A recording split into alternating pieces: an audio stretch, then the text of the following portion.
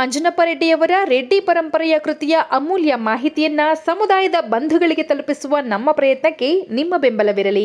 ದಯಮಾಡಿ ಎಲ್ಲ ಬಂಧುಗಳು ರೆಡ್ಡಿ ಪರಂಪರೆ ಯೂಟ್ಯೂಬ್ ಚಾನಲ್ ಸಬ್ಸ್ಕ್ರೈಬ್ ಮಾಡುವ ಮೂಲಕ ಪ್ರೋತ್ಸಾಹಿಸಬೇಕಾಗಿ ವಿನಂತಿ.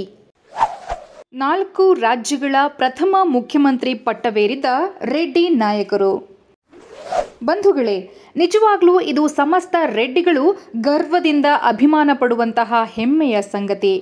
ದಕ್ಷಿಣ ಭಾರತದಲ್ಲಿ ಮೂರು ರಾಜ್ಯಗಳಿಗೆ ಮತ್ತು ಒಂದು ಕೇಂದ್ರಾಡಳಿತ ಪ್ರದೇಶಕ್ಕೆ ಮೊದಲ ಮುಖ್ಯಮಂತ್ರಿ ಚುಕ್ಕಾಣಿ ಹಿಡಿದು ಜಗ ಮೆಚ್ಚುವ ಆಡಳಿತ ನೀಡಿದ ಘನತೆ ರೆಡ್ಡಿಗಳದ್ದು.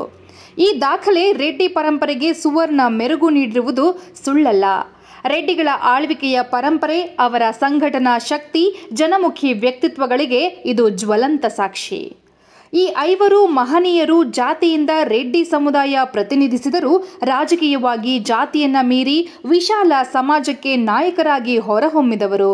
ಇವರ ಜಾತ್ಯತೀತ ನಿಲುವು ಸ್ವಾತಂತ್ರ್ಯ ಚಳುವಳಿಯಲ್ಲಿ ತೊಡಗಿಸಿಕೊಂಡ ಪರಿ, ಜನಮುಖಿ ಆಡಳಿತ ನೀಡಿದ ವೈಖರಿ ಜನಮನ ಸೆಳೆಯುವಂತಹದು. ಇವರಲ್ಲಿ ಯಾರೊಬ್ಬರಿಗೂ ರಾಜ ಮನೆತನದ ಹಿನ್ನೆಲೆ ಇಲ್ಲ.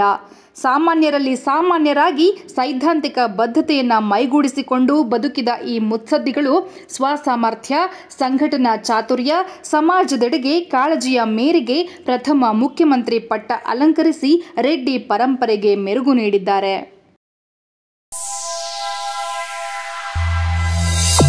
ಸುಬ್ಬರಾಯಲು ರೆಡ್ಡಿಯಾರ್ ರೆಡ್ಡಿ ಕುಲ ಹಿರಿಯರಾದ ದಿವಾನ್ ಬಹದ್ದೂರ್, ಅಗರಂ ಸುಬ್ಬರಾಯಲು ರೆಡ್ಡಿಯಾರ್ ಅವರು ಈಗ ತಮಿಳುನಾಡಿಗೆ ಸೇರಿರುವ ಮದ್ರಾಸ್ ಪ್ರೆಸಿಡೆನ್ಸಿಗೆ ಸ್ವಾತಂತ್ರ್ಯ ಪೂರ್ವದಲ್ಲಿಯೇ ಪ್ರಥಮ ಮುಖ್ಯಮಂತ್ರಿ ಅಂದರೆ ಪ್ರೀಮಿಯರ್ ಆಫ್ ಮದ್ರಾಸ್ ಪ್ರೆಸಿಡೆನ್ಸಿ ಆಗಿದ್ದರು. ಅಕ್ಟೋಬರ್ ಹದಿನೈದು ಸಾವಿರದ ಎಂಟುನೂರ ಐವತ್ತೈದರಲ್ಲಿ ದಕ್ಷಿಣ ಆರ್ಕಾಟ್ನ ಪ್ರಭಾವಿ ತೆಲುಗು ರೆಡ್ಡಿ ಕುಟುಂಬದಲ್ಲಿ ಜನಿಸಿದ ದಿವಾನ್ ಬಹದ್ದೂರ್, ಅಗರಂ ಸುಬ್ಬರಾಯಲು ರೆಡ್ಡಿಯರ್ ಅವರು ಮೂಲತಃ ಜಮೀನ್ದಾರರು ಮತ್ತು ಜಸ್ಟಿಸ್ ಪಾರ್ಟಿಯ ಮುಂಚೂಣಿ ನಾಯಕರು.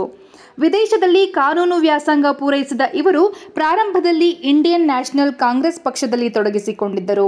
ಅನಂತರ ಸಾವಿರದ ಒಂಬೈನೂರ ಹದಿನಾರರಲ್ಲಿ ಜಸ್ಟಿಸ್ ಪಕ್ಷವನ್ನ ಸೇರಿದರು.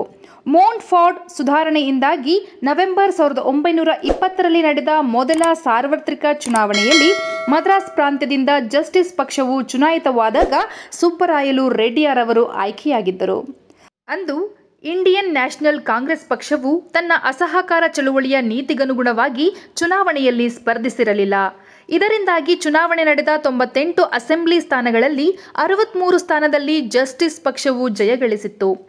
ಸಹಜವಾಗಿಯೇ ಲಾರ್ಡ್ ವಿಲ್ಲಿಂಗ್ಡನ್ ರವರು ಸರ್ ತ್ಯಾಗರಾಯ ಚೆಟ್ಟಿಯವರನ್ನ ಸರ್ಕಾರ ರಚಿಸಲು ಆಮಂತ್ರಿಸಿದ್ದರು. ಆದರೆ ಸಹೃದಯಗಳಾಗಿದ್ದ ಅವರು ಆ ಜವಾಬ್ದಾರಿಯನ್ನ ಸುಬ್ಬರಾಯಲು ರೆಡ್ಡಿಯಾರ್ ಅವರಿಗೆ ಹಸ್ತಾಂತರಿಸಿದರು. ಹಾಗಾಗಿ ರೆಡ್ಡಿಯಾರ್ ಅವರು ಡಿಸೆಂಬರ್ ಹದಿಮೂರು ಸಾವಿರದ ಒಂಬೈನೂರ ಇಪ್ಪತ್ತರಲ್ಲಿ ಮುಖ್ಯಮಂತ್ರಿ ಅಂದರೆ ಪ್ರೀಮಿಯರ್ ಆಫ್ ಮದ್ರಾಸ್ ಪ್ರೆಸಿಡೆನ್ಸಿ ಆಗುವುದರ ಜೊತೆಗೆ ಹೊಸ ಸರ್ಕಾರದಲ್ಲಿ ಹೆಚ್ಚುವರಿಯಾಗಿ ಶಿಕ್ಷಣ, ಸಾರ್ವಜನಿಕ ಸುಂಕ ಮತ್ತು ನೋಂದಣಿ ಖಾತೆಗಳ ಜವಾಬ್ದಾರಿಯನ್ನ ಯಶಸ್ವಿಯಾಗಿ ನಿರ್ವಹಿಸಿದರು. ಸುಬ್ಬರಾಯಲು ರೆಡ್ಡಿಯಾರ್ ಅವರು ತಮ್ಮ ಆರೋಗ್ಯದ ಕಾರಣವನ್ನ ನೀಡಿ ರಾಜೀನಾಮೆ ನೀಡುವವರೆಗೆ, ಅಂದರೆ ಜುಲೈ ಹನ್ನೊಂದು ಸಾವಿರದ ಒಂಬೈನೂರ ಇಪ್ಪತ್ತೊಂದರವರೆಗೆ ಮುಖ್ಯಮಂತ್ರಿಗಳಾಗಿ ಸಮರ್ಥವಾಗಿ ಕಾರ್ಯನಿರ್ವಹಿಸಿದರು. ಇದಾದ ಕೆಲವೇ ದಿನಗಳಲ್ಲಿ, ಅಂದರೆ ನವೆಂಬರ್ ಸಾವಿರದ ಒಂಬೈನೂರ ಇಪ್ಪತ್ತೊಂದರಂದು ಅವರು ವಿಧಿವಶರಾದರು.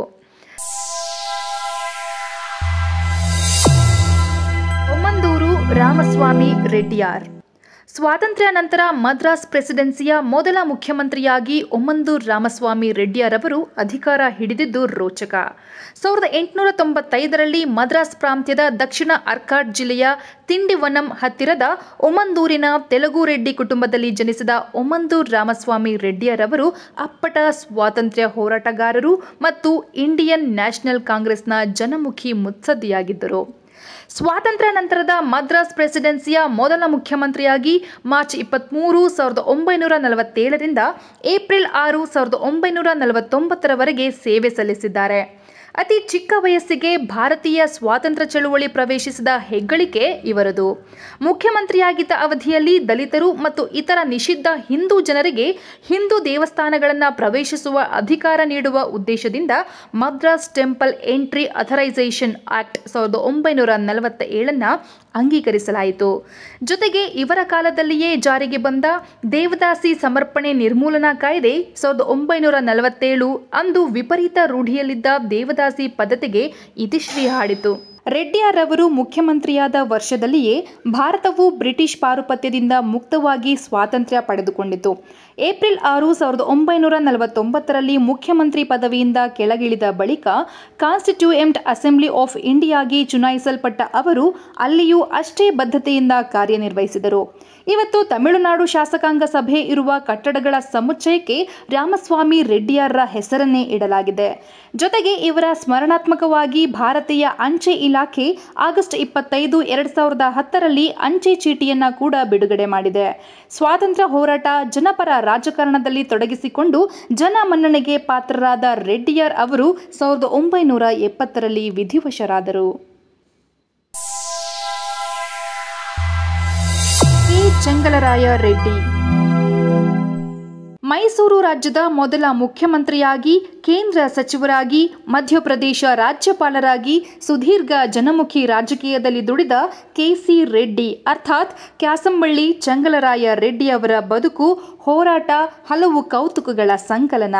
ಮೈಸೂರು ಸಂಸ್ಥಾನದಲ್ಲಿ ಅಧಿಕೃತ ಕಾಂಗ್ರೆಸ್ಸಿನ ಸ್ಥಾಪನೆ ಹಾಗೂ ಅದರ ಕಾರ್ಯ ಚಟುವಟಿಕೆ ಹೋರಾಟಗಳಿಗೆ ರೆಡ್ಡಿಯವರ ಹೆಸರು ಅಗ್ರಸ್ಥಾನದಲ್ಲಿ ಬೆರೆತು ಹೋಗಿದೆ. ಕೋಲಾರ ಜಿಲ್ಲೆಯ ಕೆಜಿಎಫ್ನಿಂದ ಸುಮಾರು ಆರು ಕಿಲೋಮೀಟರ್ ದೂರದಲ್ಲಿರುವ ಕ್ಯಾಸಂಬಳ್ಳಿಯ ಶ್ರೀಮಂತ ರೆಡ್ಡಿ ಕುಟುಂಬದಲ್ಲಿ ಜನಿಸಿದ ಕೆಸಿ ರೆಡ್ಡಿಯವರು ಕರ್ನಾಟಕ ಕಂಡ ಅಪರೂಪದ ನೇತಾರರು. ಸಾವಿರದ ಒಂಬೈನೂರ ನಲವತ್ತೇಳು ಅಕ್ಟೋಬರ್ ಇಪ್ಪತ್ನಾಲ್ಕನೇ ತಾರೀಕು ಮೈಸೂರು ರಾಜ್ಯದ ಪ್ರಥಮ ಮುಖ್ಯಮಂತ್ರಿಯಾಗಿ ಅಚ್ಚಳಿಯದ ಸೇವೆ ಸಲ್ಲಿಸಿದ್ದಾರೆ. ಸಾವಿರದ ಒಂಬೈನೂರ ನಲವತ್ತೆಂಟರಲ್ಲಿ ರಸ್ತೆ ಸಾರಿಗೆ ನಿಗಮ ರಚನೆ, ಶರಾವತಿಯಲ್ಲಿ ಮಹಾತ್ಮ ಗಾಂಧಿ ಜಲವಿದ್ಯುತ್ ಯೋಜನೆ ಸ್ಥಾಪನೆ ಮತ್ತು ಸಾವಿರದ ಒಂಬೈನೂರ ನಲವತ್ತೊಂಬತ್ತರಲ್ಲಿ ದಂಡು ಪ್ರದೇಶ ಮತ್ತು ಬೆಂಗಳೂರನ್ನು ಒಗ್ಗೂಡಿಸಿ ಬೆಂಗಳೂರು ಕಾರ್ಪೊರೇಷನ್ ಸ್ಥಾಪನೆ. ಅದರ ಬೆನ್ನಲ್ಲೇ ಬೆಂಗಳೂರು ಅಭಿವೃದ್ಧಿ ಪ್ರಾಧಿಕಾರದ ಹುಟ್ಟು, ಮುಂದೆ ಬೆಂಗಳೂರು ನಗರದಂತೆ ರಾಜ್ಯದ ಎಲ್ಲ ನಗರಗಳು ಅಭಿವೃದ್ಧಿಯಾಗಬೇಕೆಂಬ ಸದುದ್ದೇಶದಿಂದ ಸಾವಿರದ ಒಂಬೈನೂರ ಐವತ್ತೊಂದರಲ್ಲಿ ಪುರಸಭೆ ಕಾನೂನು ಜಾರಿ, ಸಾವಿರದ ಒಂಬೈನೂರ ನಲವತ್ತೊಂಬತ್ತರಲ್ಲಿ ಸಾಂಖ್ಯಿಕ ಇಲಾಖೆ ಸ್ಥಾಪನೆ, ಅದೇ ಪ್ರಕಾರ ಸಾವಿರದ ಒಂಬೈನೂರ ಐವತ್ತೊಂದರಲ್ಲಿ ಸ್ಥಳೀಯ ಮತ್ತು ಸ್ವಾಯತ್ತ ಸಂಸ್ಥೆಗಳ ಇಲಾಖೆಯ ಸ್ಥಾಪನೆ, ಹೀಗೆ ಕೆಸಿ ರೆಡ್ಡಿಯವರ ಅಧಿಕಾರಾವಧಿಯಲ್ಲಿ ಮಾಡಿದ ಅಭಿವೃದ್ಧಿ ಕಾರ್ಯಕ್ರಮಗಳ ಸರಮಾಲೆ ಒಂದೆರಡಲ್ಲ. ಎಲ್ಲಕ್ಕಿಂತ ಮುಖ್ಯವಾಗಿ ರೆಡ್ಡಿಯವರು ರಾಜ್ಯದ ರಾಜಧಾನಿಯನ್ನ ಮೈಸೂರಿನಿಂದ ಬೆಂಗಳೂರಿಗೆ ಸ್ಥಳಾಂತರಿಸಿ ವಿಧಾನಸೌಧ ನಿರ್ಮಾಣಕ್ಕೆ ಟೊಂಕ ಕಟ್ಟಿ ನಿಂತಿದ್ದು ವಿಶೇಷ. ಅದರ ಫಲವಾಗಿಯೇ ಮೂವತ್ತ ಮೂರು ಲಕ್ಷ ರೂಪಾಯಿಗಳ ಅಂದಾಜು ವೆಚ್ಚದಲ್ಲಿ ಸಾವಿರದ ಒಂಬೈನೂರ ಐವತ್ತೊಂದು ಜುಲೈ ಹದಿಮೂರರಂದು ಅಂದಿನ ಪ್ರಧಾನಿ ಜವಾಹರ್ಲಾಲ್ ನೆಹರೂರವರ ಮೂಲಕ ವಿಧಾನಸೌಧ ಕಟ್ಟಡ ನಿರ್ಮಾಣಕ್ಕೆ ಶಂಕುಸ್ಥಾಪನೆ ನೆರವೇರಿಸಿದ್ದರು. ಮುಂದೆ ಅದೇ ಶಂಕುಸ್ಥಾಪನೆ ಅಡಿಗಲಿನ ಮೇಲೆ ಕೆಂಗಲ್ ಹನುಮಂತಯ್ಯನವರು ಭವ್ಯವಾದ ವಿಧಾನಸೌಧ ನಿರ್ಮಿಸಿದರು. ಕೆಸಿ ರೆಡ್ಡಿಯವರು ಕೇವಲ ಮುಖ್ಯಮಂತ್ರಿಯಾಗಿ ಕಾಂಗ್ರೆಸ್ ನಾಯಕರಾಗಿ ದುಡಿಯಲಿಲ್ಲ. ಅವರೊಬ್ಬ ಅಪ್ರತಿಮ ಸ್ವಾತಂತ್ರ್ಯ ಹೋರಾಟಗಾರ ಕೂಡ ಹೌದು. ಇತಿಹಾಸ ಪ್ರಸಿದ್ಧ ವಿದುರಾಶ್ವತ್ಥ ದುರಂತ ಖಂಡನಾ ಪ್ರತಿಭಟನೆ ಹಾಗೂ ಮೈಸೂರು ಚಲೋ ಚಳುವಳಿಯಲ್ಲಿ ಮುಂದಾಳತ್ವ ವಹಿಸಿ ಜೈಲು ಶಿಕ್ಷೆ ಅನುಭವಿಸಿದರು. ಸಾವಿರದ ಒಂಬೈನೂರ ಐವತ್ತೆರಡರಲ್ಲಿ ಮುಖ್ಯಮಂತ್ರಿ ಸ್ಥಾನದಿಂದ ಕೆಳಗಿಳಿದ ರೆಡ್ಡಿಯವರು ಕೇವಲ ರಾಜ್ಯಕ್ಕೆ ಮಾತ್ರವಲ್ಲ, ಕೇಂದ್ರ ಉತ್ಪಾದನಾ ಸಚಿವರಾಗಿ ಇಡೀ ದೇಶಕ್ಕೆ ಮಾದರಿಯಾದ ಅಭಿವೃದ್ಧಿ ಮಾಡಿದ್ದಾರೆ. ಮುಂದೆ ಸಾವಿರದ ಒಂಬೈನೂರ ಅರವತ್ತೈದರಲ್ಲಿ ಮಧ್ಯಪ್ರದೇಶದ ರಾಜ್ಯಪಾಲರಾಗಿ ಅಧಿಕಾರ ಸ್ವೀಕರಿಸಿದ ರೆಡ್ಡಿಯವರು ಸಾವಿರದ ಒಂಬೈನೂರ ಎಪ್ಪತ್ತೊಂದರಲ್ಲಿ ನಿವೃತ್ತಿ ಪಡೆದರು. ಅನಂತರ ಸಾವಿರದ ಒಂಬೈನೂರ ಎಪ್ಪತ್ತಾರು ಫೆಬ್ರವರಿ ಇಪ್ಪತ್ತೇಳರಂದು ಬೆಂಗಳೂರಿನ ಜಯನಗರದ ಮನೆಯಲ್ಲಿ ರೆಡ್ಡಿಯವರು ನಿಧನರಾದರು.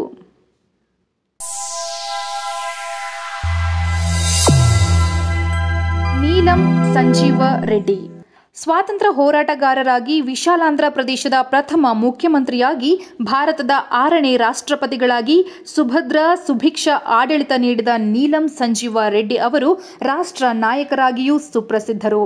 ಸಾವಿರದ ಒಂಬೈನೂರ ಹದಿಮೂರನೇ ಮೇ ಹತ್ತೊಂಬತ್ತರಂದು ಆಂಧ್ರಪ್ರದೇಶ ರಾಯಲಸೀಮೆಯ ಅನಂತಪುರ ತಾಲೂಕಿನ ಇಲ್ಲೂರು ಗ್ರಾಮದ ಗೌರವಾನ್ವಿತ ಶ್ರೀಮಂತ ರೈತರಾದ ನೀಲಂ ಚಿನ್ನಪ್ಪ ರೆಡ್ಡಿಯವರ ಪುತ್ರರಾಗಿ ಜನಿಸಿದ ಸಂಜೀವ ರೆಡ್ಡಿಯವರು ಅಪ್ಪಟ ತತ್ವನಿಷ್ಠ ರಾಜಕಾರಣಿ. ವಿಶಾಲಾಂಧ್ರ ಪ್ರದೇಶದ ಪ್ರಪ್ರಥಮ ಮುಖ್ಯಮಂತ್ರಿಯಾಗಿದ್ದಷ್ಟೇ ಅಲ್ಲದೆ ಸಾವಿರದ ಒಂಬೈನೂರ ಅರವತ್ತೆರಡರಲ್ಲಿ ಮತ್ತೊಂದು ಬಾರಿ ಮುಖ್ಯಮಂತ್ರಿ ಸ್ಥಾನ ಅಲಂಕರಿಸಿ ತೆಲುಗು ನಾಡಿನ ಪ್ರಗತಿಗೆ ಮಹತ್ತರ ಕೊಡುಗೆ ನೀಡಿದ್ದಾರೆ. ಬಳಿಕ ಲಾಲ್ ಬಹದ್ದೂರ್ ಶಾಸ್ತ್ರಿ ಅವರ ಕೇಂದ್ರ ಸಂಪುಟದಲ್ಲಿ ಉಕ್ಕು ಗಣಿ ಖಾತೆ ಮಂತ್ರಿಯಾಗಿ, ಲೋಕಸಭೆ ಸ್ಪೀಕರ್ ಆಗಿ ಸಾವಿರದ ಒಂಬೈನೂರ ಎಪ್ಪತ್ತ ಏಳು ಜುಲೈ ಇಪ್ಪತ್ತೈದರಂದು ದೇಶದ ಆರನೇ ರಾಷ್ಟ್ರಪತಿಯಾಗಿಯೂ ಸೇವೆ ಸಲ್ಲಿಸಿದ್ದಾರೆ. ವಿಶೇಷವೇನೆಂದರೆ, ಸ್ವತಂತ್ರ ಭಾರತದ ಇತಿಹಾಸದಲ್ಲಿ ಪ್ರಥಮ ಬಾರಿಗೆ ಎಲ್ಲ ಪಕ್ಷಗಳ ಸಮ್ಮತಿಯಿಂದ ರಾಷ್ಟ್ರಪತಿ ಸ್ಥಾನಕ್ಕೆ ಏರಿದ ಹೆಗ್ಗಳಿಕೆ ಇವರದು.